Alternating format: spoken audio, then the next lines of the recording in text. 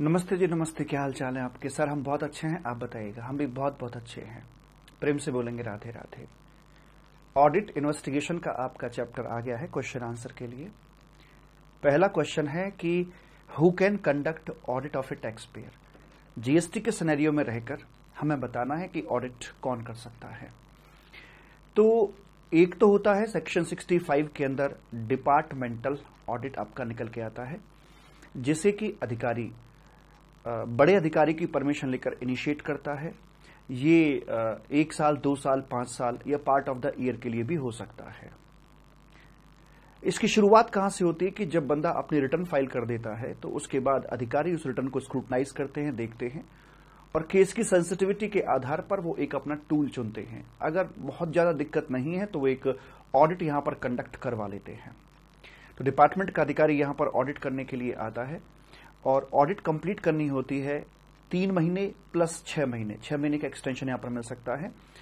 From the date of commencement of audit commencement of audit का मतलब होता है कि जिस दिन एक्चुअल में ऑडिट इनिशिएट हुई या जिस दिन आपने बुक्स ऑफ़ अकाउंट डिपार्टमेंटल अधिकारी के ऑफ़िस में पहुँचा दी तो वहाँ से तीन महीने प्लस सिक्स मंथ के अंदर ऑडिट कंप्लीट करना होता है। ऑडिट जब कंप्लीट हो जाएगा तो उसमें जो भी ड्यूज वगैरह बनते हैं, वो आपको पे करने पड़ेंगे। और अगर पे नहीं करते हो कॉपरेट नहीं करते, कोई दिक्कत है, या इस टूल से बात नहीं बन पाती है तो अधिकारी आगे जो टूल्स हैं उसके पास में, उनको इनिशिएट यहाँ पर करवा सकता है। यानी कि शोकर्स नोटिस या डिमांड ऑर्डर जैसी बातें आपके लिए करवाई जा सकती हैं। ये होता है सेक्शन 65 का ऑडिट इन जनरल होता है ये।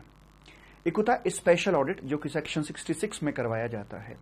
जब आपका कोई किसी प्रकार का केस लगा हुआ होता है, चाहे वो ऑडिट का है इन्वेस्टिगेशन का है सर्च सीजर एक्सेट्रा कोई भी प्रोसीडिंग्स आपकी चल रही हैं तो उस दौरान अगर दो एक्सेप्शनल केसेस में से आप फॉल कर रहे हैं आईटीसी का मसला उलझ रहा है या फिर आउटपुट जीएसटी का कोई इश्यू वहाँ पर उत्पन्न हो रहा है, और अधिकारी उस पॉइंट को जूम इन करके देखना चाहता है मोर एनालिसिस उस पॉइंट पर चाहता है तो यहाँ पर एक चार्ड अकाउंटेंट कॉस्ट अकाउंटेंट की चार्ड अकाउंटेंट या कॉस्ट अकाउंटेंट की यहाँ पर अपॉइंटमेंट की जाती है कि भैया जा जा कर दे कि वो कर क्या रहा है। और वहाँ टैक्स पेयर के वहाँ वो जाएगा और भाई वो तो ऑडिट स्पेशलिस्ट ही हैं वहाँ जाकर ऑडिट करेगा और अपनी जो फाइंडिंग्स हैं, अपनी जो रिपोर्ट है, वो लाकर पकड़ा देगा अधिकारी को। अधिकारी उस रिपोर्ट का इस्तेमाल करेगा अपना ऑर्डर बनाने के लिए। हालाँकि उस रिपोर्ट को यूज़ जब करेगा तो हो सकता है कि उसका एडवर्स इम्पैक्ट टैक्स पेयर पे जा रहा हो। तो इस रिपोर्ट में आए हुए सार को यूज़ करने से पहले, वो अपॉर्चुनिटी ऑफ़ बिंग हट देगा कि देख, ओए बुढ़वा किधर देख, तेरी जो ऑडिट रिपोर्ट आई है, वो ये वाली निकल कर आई है। अगर तुझे कुछ बोलना है तो बोल, वरना मैं इस रिपोर्ट को यूज़ करके फाइनली तेरे लिए डिमांड ऑर्डर पास करने के लिए जा रहा हूँ। वैसी वाली बात यहाँ पर मालिक बोली जाती है। जो सीए या सीडब्ल्यू यानी जो प्रोफेशनल है, उसकी जो अपॉइंटमेंट की जाती है, वो डिपार्टमेंट के द्वारा की जाती है, और उसका जो एक्सपेंसेस है, वो भी डिपार्टमेंट ही बेयर करके चलता है, यानी कि उसकी फ़ीस जो होगी, वो भी डिपार्टमेंट ही देकर चलेगा। राइट क्योंकि ये ऑडिट करवाया जा रहा है। किसी पर्टिकुलर पॉइंट को जूम इन कराने के लिए मोर एनालिसिस मोर डिटेल में मांगने के लिए। ठीक है जी? यस सर और ये बात यहाँ पर रेलिवेंट है कि उस टैक्स पेयर का ऑलरेडी कोई कॉस्ट ऑडिट टैक्स ऑडिट या स्टेट ऑडिट किसी भी तरह का ऑडिट अगर हो चुका है तो it is totally irrelevant because हम यहाँ स्पेशल सर्कमस्टांस के अंदर स्पेशल ऑडिट की बात कर रहे हैं। एक और आता है जो जीएसटी ऑडिट की बात करता है। ये जीएसटी ऑडिट भी असेसी करवाता है, एक स्वयं करवाता है, एक प्रोफेशनल से चार्ट अकाउंटेंट से। ये डिपार्टमेंट के द्वारा इनिशिएट नहीं किया जा रहा है। अगर आपका जो टर्नओवर है वो दो करोड़ से ऊपर का है, हालाँकि कुछ एक पर्टिकुलर ईयर के लिए से पाँच करोड़ भी कर दिया गया है बट जो बेस लिमिट है जो आपको एग्ज़ाम के लिए ध्यान में रखनी है वो दो करोड़ की है। दो करोड़ से ऊपर का अगर आपका आ रहा है तो आपका ऑडिट मैंडेटरी यहाँ पर हो जाता है और उसके लिए आपको कम्युनिकेट भी करना पड़ता है। उसका एक ऑडिट रिपोर्ट और जो रिकन्सिलेशन स्टेटमेंट है वो आप सरकार को देकर चलते हो। तो इस प्रकार से तीन प्रकार के ऑडिट जीएसटी की दुनिया में यहाँ पर आते हैं राइट तो ये तो आ गया सेक्शन 35 जो बुक्स ऑफ़ अकाउंट के चैप्टर में हमारा आता है। ये ऑडिट आ गया ऑडिट बाय द डिपार्टमेंट ये सेक्शन 65 का आ गया, और ये स्पेशल ऑडिट आपका सेक्शन 66 के अंदर ये आपका फॉल करके चलता है। प्रेम से बोलेंगे, राधे राधे। ठीक है सर यस सर आगे है what is the what is meant by commencement of audit जैसे कि हम जानते हैं कि जो सेक्शन 65 का ऑडिट होता है, उसको तीन महीने प्लस सिक्स मंथ के अंदर कंप्लीट करना होता है from the date of commencement of the audit तो कमेंसमेंट का मतलब यहाँ पर क्या निकल के आता है? सर जी कमेंसमेंट का मतलब वही निकल के आता है कि लाइक जिस दिन आपने बुक्स ऑफ़ अकाउंट अवेलेबल करवा दिए अधिकारी के ऑफ़िस में, या फिर अधिकारी ने आपके यहाँ पर जो ऑडिट है वो एक्चुअल में यहाँ पर कंडक्ट कर दिया as the whichever is later तो वो अपना यहाँ पर इस कमेंसमेंट ऑफ़ ऑडिट कंसिडर किया जाता है, वैसे करके मालिक बात कही जाती है। ठीक है जी?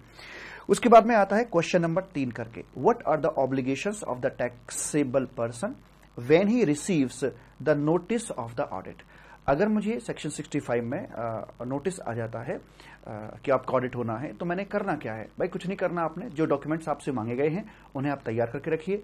अधिकारी जब आए तो उसे पूर्ण रूप से फैसिलिटेट करना है। इलेक्ट्रिसिटी की बिजली की पानी की सारी व्यवस्था करके चलनी है। जो कागज़ पत्र मांगे वो आपको प्रोवाइड कराना है कोऑपरेट करना है हंस के बात करनी है। मतलब हर तरह से आपको सहयोग करना है ताकि उसको ऑडिट को टाइमली कंप्लीट करवाया जा सके और अधिकारी रुष्ट भी ना हो। अगर अधिकारी रुष्ट हो गया तो दिक्कत वाली बात है। फिर अगला जो स्टेप होगा, उसका वो शोकोज नोटिस और डिमांड ऑर्डर की वहाँ पर आकर बात कर सकता है। अपनी लैंग्वेज में लिखना है आपको आंसर अपनी लैंग्वेज में। आगे बात करते क्वेश्चन नंबर चार। Who can order carrying out inspection and under what circumstances तो ये कौन कर सकता है? हमारे Narendra sir, Narendra Yadav ji joint commissioner joint commissioner और higher an officer higher in rank can give such authorisation only if he has reason to believe कि भाई यहाँ पर दिक्कत हो रही है। किन किन परिस्थितियों में जो मेन ऑफेंडर है अपना वही दो एक्सेप्शन सर्कमस्टांसेस निकल के आते हैं कि अगर उसने आउटपुट टैक्स को इवेड कर रहा है, जैसे मान लीजिए सप्लाई को सप्रेस कर दिया या स्टॉक को छिपा लिया है तो यहाँ से इसका आउटपुट टैक्स का इवेजन निकल कर आ रहा है। या फिर उसने आईटीसी एक्सेस क्लेम कर लिया है, फर्जी या फेक बिलों के आधार पर। दो ही चीज़ तो मूव करती हैं। यही दो एक्सेप्शनल केसेस हैं। या फिर एनी अदर कॉन्ट्रावेंशन तो ये एक बड़ी लाइन होती है जो लॉ मेकर हमेशा इस्तेमाल करके चलता है कि अगर कोई और भी रीजन रहा, जहाँ पर आपका दिख रहा है कि आपने कॉन्ट्रावीन कर रहे हो प्रोविजंस को तो आपका इंस्पेक्शन करवाया जा सकता। है इसके साथ साथ जो सेकेंडरी पार्टी है, चंगू मंगू जो है आपके ट्रांसपोर्टर वेयर हाउस ये भी लपेटे में निश्चित तौर पर आएँगे।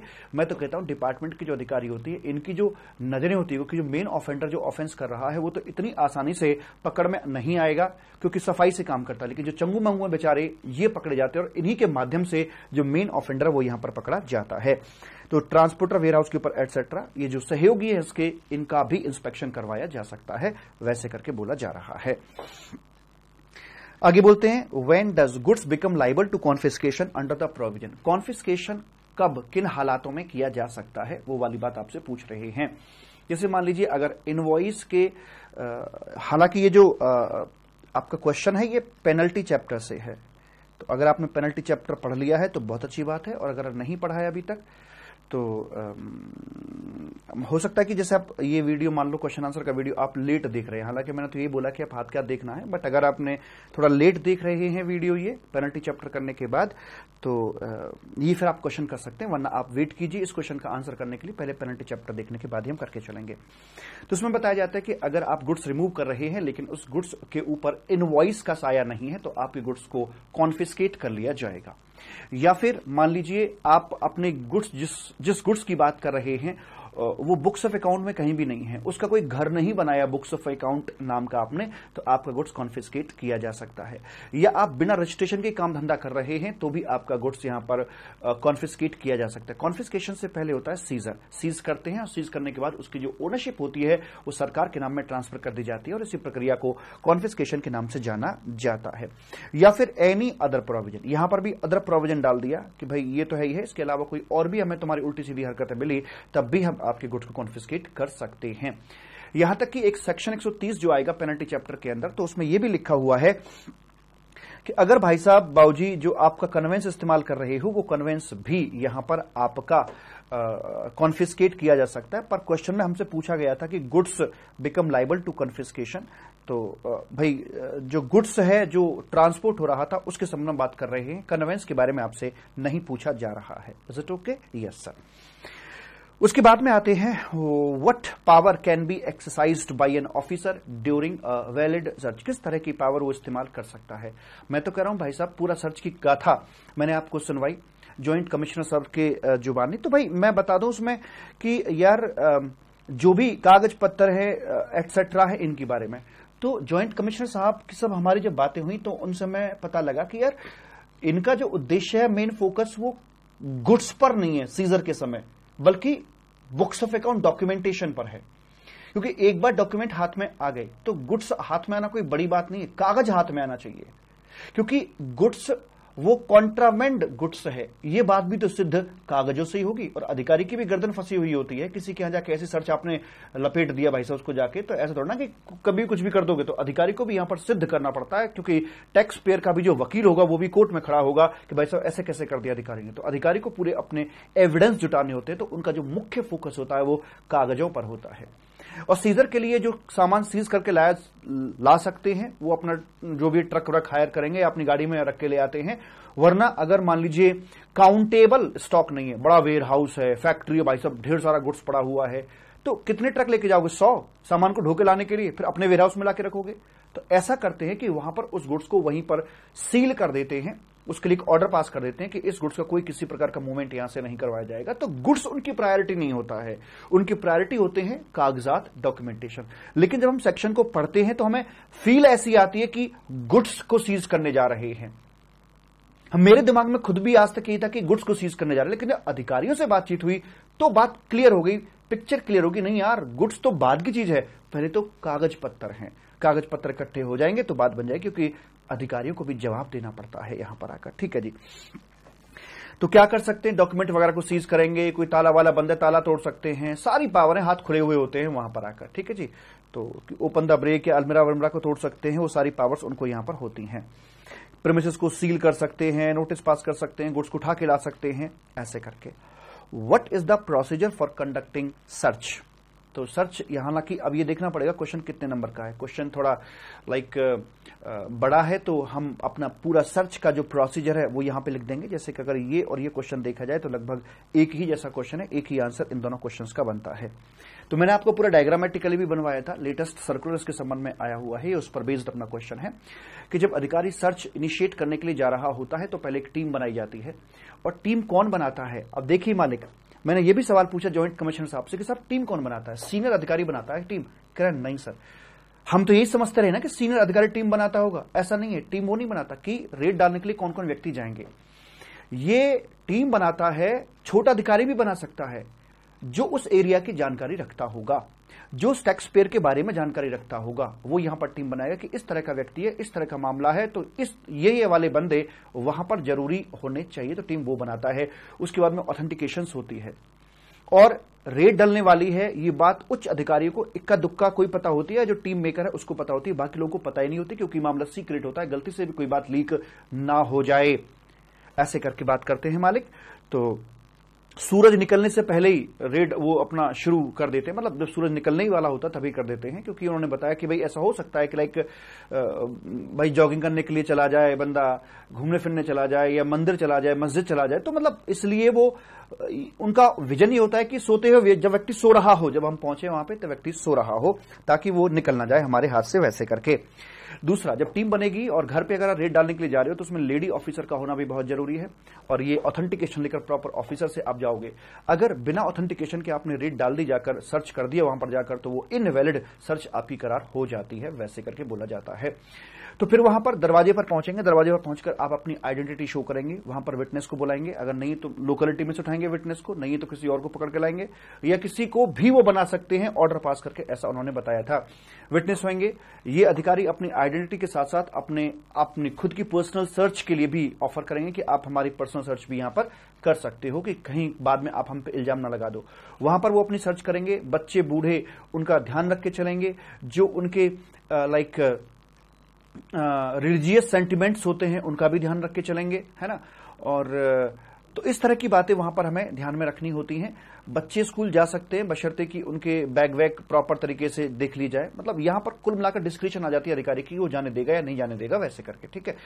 तो आ, ये हमारी बात होती है और वहाँ पर फिर क्या करते कि वो जो भी सामान सीज किया आपने उसका पंचनामा भरा जाता है या उसे महाजर के नाम से भी जानते हैं। एंड अगर जो प्रैक्टिकली सीज नहीं हो सकता, बड़ा वेयर हाउस सीज हो ही नहीं सकता वो मतलब कैसे करके लाओगे ट्रक में भर के? तो उसको वहीं पर डिटेन कर दिया जाता है, वहीं पर उसको रोक दिया जाता है, उसका ऑर्डर पास कर देते हैं। उसके बाद में कोविड प्रिकॉशंस का भी ध्यान में रखना है। जैसे सर्च कंप्लीट हो तो आपको वहाँ से फटाफट निकलना होता है। और हाँ अगर मामला सेंसिटिव है, संवेदनशील है तो फिर वहाँ पर वीडियोग्राफी भी करवाई जा सकती है। पंचनामा जब बन जाएगा तो अधिकारी हस्ताक्षर करेगा और उसके ऊपर जो टैक्स पेयर है, वो भी उसके ऊपर अपने हस्ताक्षर करके चलेगा। हस्ताक्षर नहीं करेगा तो उसके वहाँ पर चिपका दिया जाएगा। जो विटनेस बुलाए थे, उनके भी हस्ताक्षर होते हैं कि कहीं कल को कोई और इल्ज़ाम इसके ऊपर न लगा दिया जाए अधिकारियों के ऊपर वैसे करके। फिर वहाँ से बाहर निकलते हैं और बाहर निकलने के बाद में वो पहुँचते हैं जिस अधिकारी से ऑथेंटिकेशन लेकर गए थे। अगर सर्च एग्जीक्यूट कंप्लीटली हो गई है अच्छे से हो गई है तो जो ऑथेंटिकेशन थी, उसको सीधा पकड़ाएँगे। और अगर सच किसी वजह से ऑथेंटिकेट नहीं मतलब लाइक एग्जीक्यूट नहीं हो पाई है तो सर्च वारंट जो लेकर गए थे ऑथेंटिकेशन जो लेकर गए थे, उसे उल्टा करके लौटा दिया जाता है। ऐसी वाली बात यहाँ पर मालिक करी जाती है। तो ये पूरा का पूरा जो प्रोसीजर है, ये अपना सर्च का यहाँ पर निकल कर आता है। आगे बोलते हैं when is search said to be illegal is evidence collected in the course of an illegal search admissible in trial proceedings वो क्या कह रहा है? कि क्या सर्च इलीगल भी हो सकती है? जी हाँ। अगर बिना ऑथेंटिकेशन के आपने सर्च कर दी है तो वो ऐसी सर्च इलीगल कही जाएगी। लेकिन अब सवाल ये उठता है कि ठीक है, एक ज्वाइंट कमिश्नर ने इलीगल सर्च करा दी है, बिना वारंट की सर्च करा दी, उसको पूरा डाउट था, लेकिन वारंट ने लिया सर्च करा दी। और वहाँ से जो भी कागज़ पत्र कलेक्ट हुए हैं तो उनमें बहुत ज़्यादा गड़बड़ हो रखी है। काम जो किया वो इलीगल था, लेकिन अदरवाइज़ देखा जाए, अगर हम ऑथेंटिकेशन को साइड में कर दें तो बहुत ज़्यादा यहाँ पर टैक्स की गड़बड़ हो रखी थी। तो क्या यहाँ पर उस टैक्स पेयर को पूर्णतया छोड़ दिया जाएगा? द आंसर इज़ नो मालिक सर्च तो आपकी इनवैलिड होगी, लेकिन जो भी डॉक्यूमेंटेशन वगैरह आए हैं, उनके आधार पर आपको ट्रायल प्रोसीडिंग्स के तहत गुजारा जा सकता है। मतलब आपने जो गलत काम कर रखे हैं उनके लिए आपको इस आधार पर नहीं छोड़ा जा सकता कि सर्च ये इलीगल थी। ठीक है जी? तो वैसी वाली बात यहाँ पर बोली जाती है। तो सर्च तो लीगल हो सकती है, लेकिन due to this reason accused can not get benefit वो इसका बेनिफिट नहीं पा सकता है। अगर कुछ गलत कर रखा है उसने वाकई में तो निश्चित तौर पर उसे इसका भुगतान यहाँ पर करना पड़ जाएगा। आगे बोलते हैं does does GST law have any power of detention of goods and conveyances the answer is yes उनको ये डिटेन करने की पूरी पूरी पावर दी जाती है, मालिक। और सेक्शन एक सौ उनतीस हम पढ़ते हैं, ये भी अपना बेसिकली ना पेनल्टी चैप्टर के अंदर आता है। पेनल्टी चैप्टर नहीं पढ़ा है अभी तो आप इसे अभी क्वेश्चन को ना करें। और अगर मान लीजिए आप पढ़ गए हैं और फिर बाद में क्वेश्चन आंसर देख रहे हैं अपना तो फिर आप इसे देख सकते हैं। तो सेक्शन 129 के अंदर वहाँ पर पावर दी जाती है, उसको रोका जा सकता है। कब रोक सकते हैं? कन्वेंस को बेसिकली जैसे मान लीजिए इनवॉइस नहीं है, या फिर ई वे बिल नहीं है, या ई वे बिल और इनवॉइसिंग में आपस में तालमेल नहीं है मैचिंग नहीं हो रही है, या फिर एक्सपायर्ड ई वे बिल है तो ऐसे हालात के अंदर उसको रोका जा सकता है रिटर्न किया जा सकता है रिटर्न के बाद में उसको सीज हम कर सकते हैं, वैसी वाली बात बोली जाती है। सीजर और डिटेंशन में क्या फ़र्क होता है? डिटेंशन के अंदर मतलब हम चीज़ों को रोक के रखते कि रोको रोको रोको भाई, ये है डिटेन करना। रोकना मतलब डिटेन करना और रोक कर रखना मतलब सीज कर देना। मतलब जैसे मान लीजिए आप यहाँ से जा रहे थे, मैंने आपको रोक लिया, और भाई कहाँ जा रहे हो? रोको रोको। तो ये है डिटेन करना, रोक लिया। मैंने आपको बल नहीं लगा रखा, आप रुके हुए हैं यहाँ पर। आप बोले, चलता हूँ मैं। मैंने कहा, नहीं, जाने दूँगा। कर जाऊँगा मैं तो। मैंने आपको ताकत से पकड़ लिया। फोर्सफुली पकड़ लिया, ये है सीज कर देना, ठीक है जी? तो वैसी वाली बात आपकी यहाँ पर करी जाती है। Is there any special document required to be carried during transport of taxable goods the answer is yes e way bill हो गया इनवॉइस हो गया बिल ऑफ़ सप्लाई हो गया, या फिर अपना जो डिलीवरी चलान होता है, वो यहाँ पर आ गया मालिक। तो ये डॉक्यूमेंटेशन आपको चाहिए होते हैं वहाँ पर आकर, ठीक है जी? चलो बिल ऑफ़ एंट्री हो गई, अगर इंपोर्टेड गुड्स है तो। What do you mean by arrest ये तो बेकार का क्वेश्चन छोड़ो से when can the proper officer authorise arrest of any person under GST law इसमें आ जाता है आपका सेक्शन नंबर 69 आ जाता है कि अरेस्ट किन परिस्थितियों में होता है। तो हमने इसका सीन समझा था कि देखो, या तो आप आउटपुट जीएसटी को कम कर रहे हो, या आईटीसी को बढ़ा रहे हो, या फिर आप, या फिर आप टैक्स के नाम पर वसूली कर ली है और ड्यू डेट से तीन महीने बीत गए, बट अभी तक आपने पेमेंट नहीं किया है। तो ये वो तीन चार कारण हैं जो कि यहाँ पर अरेस्ट के लिए माहौल बनाते हैं। लेकिन इसमें जो केस है, उसकी जो वैल्यू है, वो दो करोड़ से ऊपर की होनी चाहिए। जो इविजन निकल के आ रहा है, जो फ्रॉड निकल के आ रहा है, वो दो करोड़ से ऊपर का होना चाहिए। तभी यहाँ पर अरेस्ट की बात करी जा सकती है। अच्छा और अगर अमाउंट पाँच करोड़ से ऊपर का है तो फिर अरेस्ट तो होगा ही होगा। साथ में जो केस है ये गर्म केस की कैटेगरी में आ जाता है।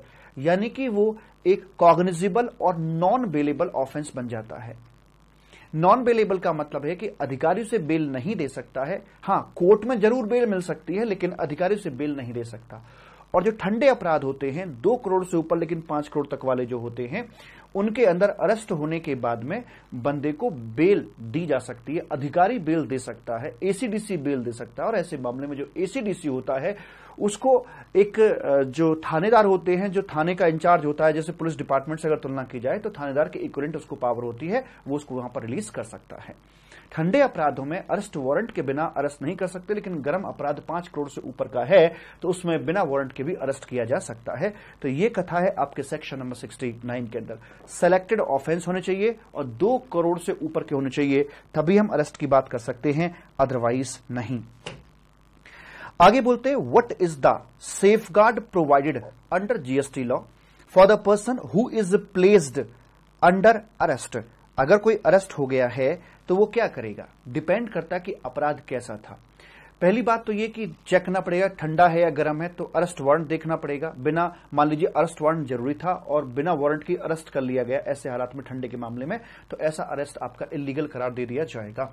दूसरा, अगर मान लीजिए गर्म अपराध था, बिना वारंट के अरेस्ट कर लिया है तो 24 घंटे के अंदर उसे कोर्ट में पेश करना ज़रूरी हो जाता है। तो ये बेसिकली अगर नहीं किया है तो वो दिक्कत है। वहाँ पर जो डिपार्टमेंट है, वो इसमें कटघरे में आकर खड़ा हो जाता है। वैसी वाली बात मालिक बोली जाती है। और जो बेल का प्रोविज़न है, वो बेल दे सकता है बेलेबल ऑफेंसेस के अंदर एसीडीसी लेकिन जो नॉन बेलेबल ऑफेंस है, उसमें अधिकारी बेल नहीं दे सकता अवर कोर्ट यहाँ पर बेल दे सकता है। तो इस प्रकार की यहाँ पर बात करी जाती है। आगे है when can the proper officer issue summon under GST law वो कब समन दे सकता है? हमारे पास आए थे कॉपरेट करने वाले सेक्शन सेक्शन 70, 71, 72, 70 था मेन ऑफेंडर के लिए 72 था चंगू मंगू और जो अन्य सहयोगी होते हैं उनके लिए और 72 था बेसिकली अधिकारियों के लिए पुलिस अधिकारी रेलवे के अधिकारी ग्राम पंचायत के अधिकारी डिस्ट्रिक्ट लेवल के अधिकारी बाकी जितने भी अधिकारी लोग हैं सब के सब जीएसटी अधिकारियों को कॉपरेट करके चलेंगे। तो सेक्शन 70 के अंदर जो मेन पर्सन है उसको यहाँ पर एक समन जारी किया जाएगा कि आजा मेरे राजा यहाँ पर आजा और आपको पंद्रह दिन का समय दिया जाता है, उसमें आप सारे जो डॉक्यूमेंट वगैरह हैं, वो सारे के सारे प्रोवाइड करा के चलोगे, पूर्ण रूप से कॉपरेट करके चलोगे, और जो आपसे मांगा गया है, वो सारे कागजात आप वहाँ पर प्रोवाइड करके चलोगे। तो ये वाली बात निकल के आती है, और कुछ भी अगर फ्रॉडलेंट इंटेंट अगर नज़र आ रही होती तो सम्मन जारी करके बुलाया जा सकता है। Are there any class of officers are required to assist या त्राहिमाम त्राहिमान सेक्शन 72 बोलता है, पुलिस अधिकारी कस्टम के अधिकारी और स्टेट या सेंट्रल गवर्नमेंट के जो जीएसटी के अधिकारी हैं वो दूसरे डिपार्टमेंट के अधिकारी, या फिर आपके लैंड रेवेन्यू वाले आईएएस अधिकारी, यानी जिला लेवल पे अधिकारी जो हैं, गाँव के अधिकारी और जितने भी अधिकारी लोग हैं, सबके, सब कॉपरेट करके चलेंगे। Each and every person will cooperate to the GST officer आगे बात करते explain the difference between the audit under section 65 and special audit under section 66 दोनों के बीच में अंतर क्या है? मालिक, अंतर क्या? सेक्शन 65 का एक जनरल सा ऑडिट है, ये स्पेशल ऑडिट है। ये 65 स्क्रूटनी के बाद पिक्चर में आता है और ये 66 का जो स्पेशल ऑडिट है, जब कोई केस वेस लगा होता है तो उसके बाद ये पिक्चर में आता है। यहाँ पर स्पेसिफिक रीजन होता है कि आईटीसी या वैल्यू को लेकर मतलब आउटपुट जीएसटी को लेकर कोई अगर आपने गलती कर रखी है तो वहाँ पर उसको कराया जाएगा। लेकिन ये जनरलाइज्ड वे में आपका कंडक्ट करवाया जा सकता है। वैसी वाली बात यहाँ पर बोली जाती है। ये अधिकारी के द्वारा कंडक्ट किया जाता है और ये एक प्रोफेशनल के द्वारा कंडक्ट किया जा सकता है। तो इस प्रकार से हम इन दोनों को डिफ्रेंशिएट कर सकते हैं सेक्शन 65 एंड सेक्शन 66 को। ठीक सर जी। आगे है explain the safeguard provided under section 69 to a person ये क्वेश्चन तो हमारा हो गया जी। ये रिपीट क्वेश्चन है बेसिकली उन्नीसवां बीसवां भी आपका रिपीट क्वेश्चन है। State the circumstance when the proper officer can authorise arrest ये भी हमारा है। मैं आपको बता दिया कि भाई, वो आपके स्पेसिफाइड केस होने चाहिए। दो करोड़ से ऊपर का मसला है तो अरेस्ट की बात की जा सकती है। सेक्शन 69 पर बेस्ड आपका ये सेक्शन यहाँ पर निकल कर आता है। राइट तो ये थे आपके छोटे छोटे क्वेश्चन मालिक, और ऐसे ही क्वेश्चन आपसे एग्ज़ाम में पूछे जाएँगे। अगर इस चैप्टर में से क्वेश्चन आता है तो ऐसा ही क्वेश्चन आएगा। और सबसे महत्वपूर्ण है यहाँ पर सेक्शन नंबर सिक्सटी वाला आपका। ठीक है? ये वाला जो क्वेश्चन है, सबसे महत्वपूर्ण मुझे ये यहाँ पर आकर लगता है। तो चलो मालिक आज की मुलाकात बस इतनी और कर लेना कल चाहे बातें जितनी। अब हम अगले चैप्टर की शुरुआत करेंगे और उसके बाद फिर चर्चा को आगे बढ़ा के चलेंगे। चलो thank you so much bye tata and love you मालिक बाय